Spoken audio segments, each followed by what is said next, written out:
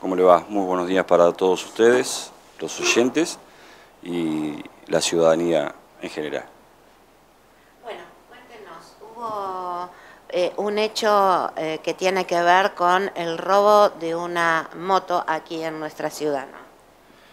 Sí, efectivamente, el día viernes, en el horario entre las 17 y las 19 horas, se procede a tomar conocimiento de la sustracción de una moto Honda de color blanca en la arteria Moreno entre Avellaneda y Maipú, lo que obviamente motivó de que se noticiara como primera medida al, centro de monitoreo local para que inicie la búsqueda en las cámaras que están en las inmediaciones.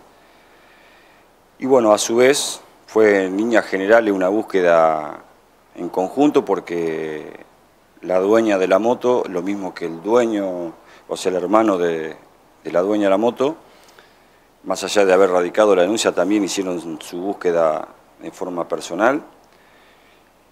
Y en el día de ayer se, toma razón de que en la jurisdicción de la Comisaría de San Nicolás I se procede a la detención de un masculino mayor de edad residente en San Nicolás, que tenía un pedido de captura por robo agravado por el uso de arma de fuego, casualmente estaba tripulando eh, la moto que fue sustraída en nuestra ciudad. No puedo ampliar más información porque seguramente esto motive de que van a preguntar si la misma persona que tripulaba la moto es la que la sustrajo, si la sustrajo otro y la llevó para allá, lo que sí tengo para decir son dos cosas. Primero, que esto es materia de investigación reservada, que a nosotros también nos interesa saber si está viniendo gente de, otras localidades, de otras ciudades a, cometernos este y otro tipo de delitos. Y la otra, que, también es muy importante para nosotros, es la ayuda de los vecinos que tienen cámaras privadas, que no han escatimado en, aportarlas y en ceder a, a la policía y a las autoridades de intervención las imágenes para que nos lleven a determinar nosotros no solamente identificar al autor, sino el recorrido que pueda haber hecho luego de, de sustraerla. Entonces, la verdad que quiero resaltarlo y también quiero, a través de ustedes, que, estas personas y cualquier otra que, que tengan cámaras privadas sepan de que es muy importante para nosotros la colaboración de ellos. También, eh, y esto lo digo de, forma anecdótica, hay ocasiones en las que se enteran por nosotros de que las cámaras no están grabando, o que tienen sus cámaras instaladas con la tecnología que deben tener y cuando uno va a buscar las grabaciones nos encontramos que, que la, grabación no está. Entonces descubren una falla en el sistema porque nosotros precisamente vamos a buscar las cámaras. Así que, bueno, tenemos una persona detenida por el robo agravado de, de motovehículo, en este caso, porque la moto se encontraba trabada y se la sustrajeron igual, quiere decir que han violentado su cerradura y, a su vez tiene el pedido de captura que tenía en San Nicolás. ¿Esto sucede muy a menudo en nuestra ciudad, el robo de motovehículos, como dice usted? Bueno, estadísticamente, en su momento tuvimos una importante cantidad de hechos de, sustracción de, de, ciclomotores y de motos. Ahora es como que ha mermado, podemos decir, y llamó la atención que después de un tiempo bastante, ustedes mismos este, son testigos de de los partes policiales que reciben, que hace un tiempo que esto no ocurría. Entonces como que este, llamó la atención mucho el horario, el lugar y un montón de circunstancias, porque ustedes imagínense de que por lo general, por lo general la mayoría de, de los damnificados de este tipo de delitos si bien da aviso de forma telefónica, ya sea monitoreo o a la comisaría, no radica la denuncia en el momento, estoy diciendo firmar la denuncia para a su vez poner en conocimiento de la justicia.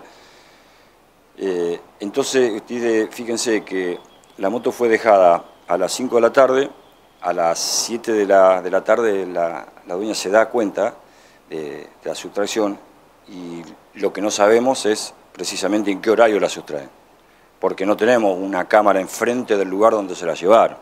Entonces esto generó un trabajo de un relevamiento de todas las cámaras, de cómo, o sea, si bien se ve el arribo de ella, por dónde llegó y cómo llegó, eh, lo que se hace es eso. Entonces, vamos a suponer que la moto fue sustraída a las 17.30, ¿no? hasta las 19 que ella se dio cuenta o que avisa a las autoridades, esa hora y media es un tiempo suficiente, no olvidemos que son motos que caminan más de 80 kilómetros, ese es un tiempo suficiente para huir, y como nosotros no tenemos esa certeza, no podemos hacer la búsqueda de las cámaras de las localidades vecinas hasta que después que se radique la denuncia, porque bueno, hay como un vacío de información o de datos que nos llevan a, eso.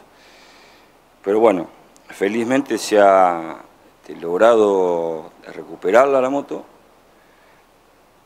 Lo que también es importante, eh, no es una moto que apareció tirada, como suele ocurrir, en un baldío abandonada, eso también genera aún más incertidumbre porque no sabemos quién fue el autor, no sabemos. Bueno, acá tenemos un autor que en su momento va a ser indagado por la, por la Fiscalía que tomó intervención en la sustracción y ojalá que podamos sacar a luz algunas interrogantes y alguna incógnita que tenemos. Seguramente van a poder saber si trabaja solo o trabaja eh, en compañía con, otras personas, ¿no? Bueno, sí, o sea, a nosotros lo que nos preocupa es la presencia de él o de cualquier otra persona que no es residente en esta ciudad y valga la redundancia que esté en esta ciudad. Entonces nos interesa saber a qué vino, cómo vino, por qué vino, si tiene familiares, si tiene amigos, si tiene antecedentes, si, si son compañeros de, encierro, o, o sea, nos interesa saber eso. Que creo y supongo que es así creo que supongo que es así, porque al azar no van a venir acá, este, y si van a venir a buscar trabajo no van a venir a robar, como también puede llegar a ocurrir, pero bueno, tenemos otro ilícito que se está investigando, que ocurrió en la calle Libertad, donde está muy avanzado en todo su aspecto, descubrimos de qué forma llegó, de qué forma se fue, por dónde se fue y a dónde se fue, el que comete el delito, pero bueno, estamos viendo eh, expectantes, ¿no? De la colección de pruebas para que a su vez la, la, fiscal o la fiscalía se expida en lo que respecta a un allanamiento o un pedido de detención. Y, el objetivo es uno solo, es detenerlo, porque quizás eh, se especula con el tipo de delito, la gravedad o no. La verdad que a mí me da lo mismo que sea un robo calificado, que sea un hurto, a mí lo que no me gusta es que vengan a robarme la ciudad, sea cual sea el tipo de delito. Todos son danificados, todos son víctimas de mayor o de menor cuantía o de mayor o menor gravedad. A mí no me gusta que me vengan de afuera a robarme la ciudad y tampoco me gusta que los mismos de la ciudad este, cometan ningún tipo de delito.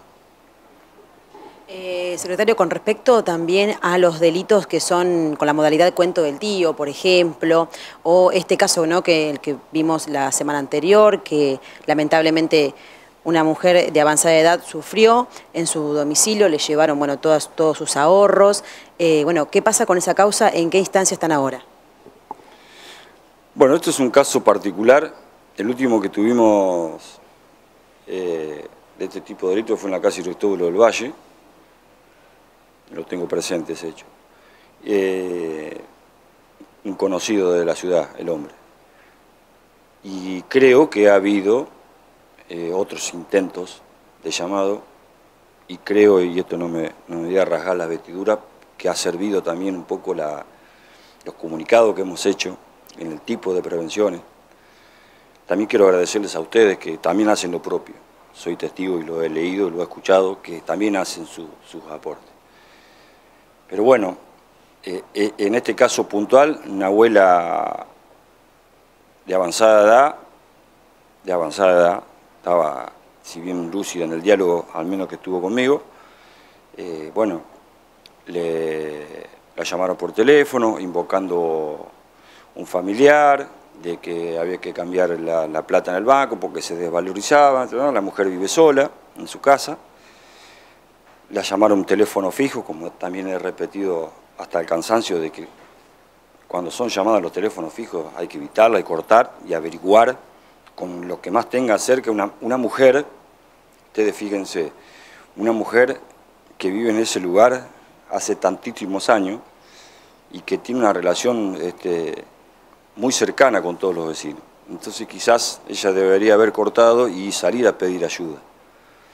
Y bueno, sé que la comunicación duró bastante, le, sacaron una suma importante de dólares, pero eh, como lo dije respecto del hecho anterior, fue muy importante, muy importante el aporte de las cámaras privadas.